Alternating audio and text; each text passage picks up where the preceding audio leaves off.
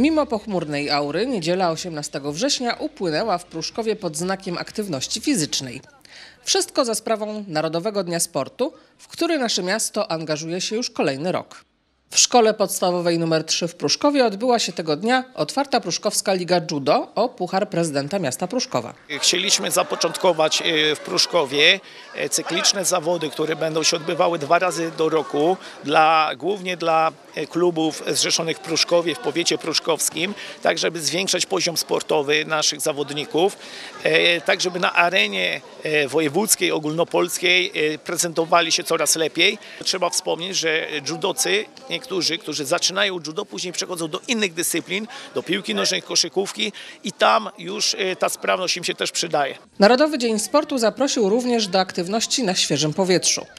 Już po raz drugi Pruszków we współpracy z Ranmagedonem zorganizował terenowy bieg z przeszkodami. Pierwszy Ranmagedon Kids z okazji Dnia Dziecka odbył się w czerwcu w Parku Mazowsze.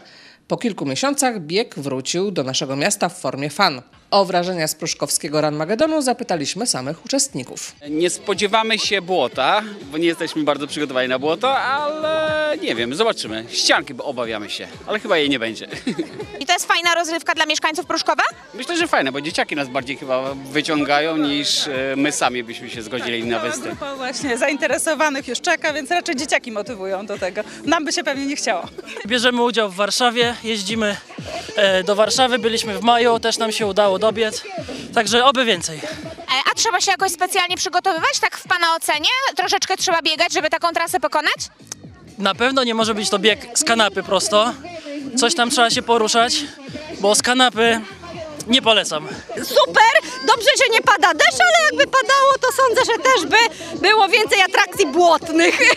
Właśnie, z czym mieliście największy problem? Jakie były przeszkody na trasie? Prawie ze wszystkimi. Najmniejsze problemy ze wspinaczką, ale y, wersję dla dzieci pokonaliśmy wszyscy, po kolei. Po ubiorze oceniam, że Ranmagedon nie jest Wam obcy. Co sądzicie o takiej e, formule fan tutaj w Pruszkowie właśnie dla rodzin e, z dziećmi? Super sprawa, tak jak dla nas my często staramy się co roku biegać y, w Ranmagedonach, też w innych biegach aktywnie spędzać czas, więc wszystkim polecamy, naprawdę super sprawa. Dziesiątą edycję Narodowego Dnia Sportu w Pruszkowie zwieńczył night skating. Mieszkańcy równo o 20 wystartowali spod urzędu w 18-kilometrową trasę. W rolkowym przejeździe ulicami miasta wzięli udział zarówno dorośli, jak i dzieci.